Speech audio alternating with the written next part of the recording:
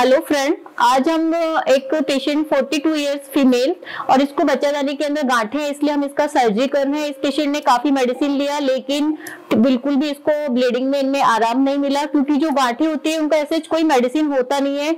आपको आखिरकार उसका ऑपरेशन कराना ही पड़ता है। तो अब पेशेंट ने इसका सर्जरी डिसाइड किया और हमने इसको ऑपरेशन बच्चादानी से, दूरबीन दूरबीन से बच्चादानी का निकालने वाला ऑपरेशन डिसाइड किया है। अब हम इसमें, उसको दूरबीन के ज़रिए करने के लिए हमने इसके पेट पे छोटे छोटे छेद बना के इसके अंदर इंस्ट्रूमेंट हमने इसके अंदर डाले। जैसे कि आप देख सकते हैं कि पतले पतले इंस्ट्रूमेंट है, जो कि पेट पे एकदम आधा सेंटीमीटर का हमने इस पे छेद करा है, तीन चार इसमें छेद किए जाते हैं, जिससे पतले इंस्ट्रूमेंट अंदर डाले जाते हैं। और एक जो छेद होता है, उसे हम कैमरा अंदर करते हैं, और एक दो जो साइड में बहुत ही छोटे पेट पे छेद है, उनसे हम अंदर इंस्ट्रूमेंट डाल दें, जिससे कि हम पूरा सर्जरी करेंगे। और इसमें इंस्ट्रूमेंट को डालने के बाद हमें टीवी स्क्रीन पे पेशेंट का अंदर का जो पेट का स्थिति है, वो दिखाई देता है। जैसे कि आप देख सकते हैं कि इसके हमने इंस्ट्रूमेंट डाला और कैमरा डाला है तो आप देख सकते हैं कि टीवी पे इसका अंदर का ऐसे दिख रहा है। अब इस पेशेंट के अंदर जो ये है ये जो आते हैं और आंतों के ऊपर का फैट है, ये पेशेंट के अंदर चिपका हुआ है। तो पहले हम इसको हटाएँगे, फिर इसका जो सर्जरी है, आप देख सकते हैं कि ये बच्चा दानी है पेशेंट का।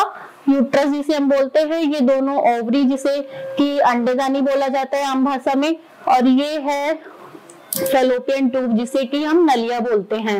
ये दोनों साइड दो दो होती है, एक इधर और एक इधर लाइट लेफ़्ट और ओवरी भी दो होती है और ये पूरी बच्चा बच्चादानी है। बच्चा बच्चादानी के अंदर आप देख सकते हैं कि ये गांठ है, जिसके कारण पेशेंट को दवाई से कोई आराम नहीं आ रहा था और हमने फाइनली पेशेंट ने इसको निकलवाने का डिसाइड किया।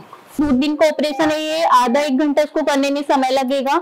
इसके बाद पेशेंट चार घंटे बाद इसको पेशेंट को ओरली अलाउ हो जाएगा। दूरबीन के ऑपरेशन में ऐसे कोई परहेज नहीं होता है। पेशेंट को तीन चार घंटे बाद हम ओरली अलाउ कर देते हैं और छह सात घंटे बाद पेशेंट को बैठना लेटना, करवट वगैरह लेना, उठना, ये सब अलाउ होता है और पेशेंट को ओरली भी अलाउ किया जाता है और within twenty four hours patient का छुट्टी हो जाता है।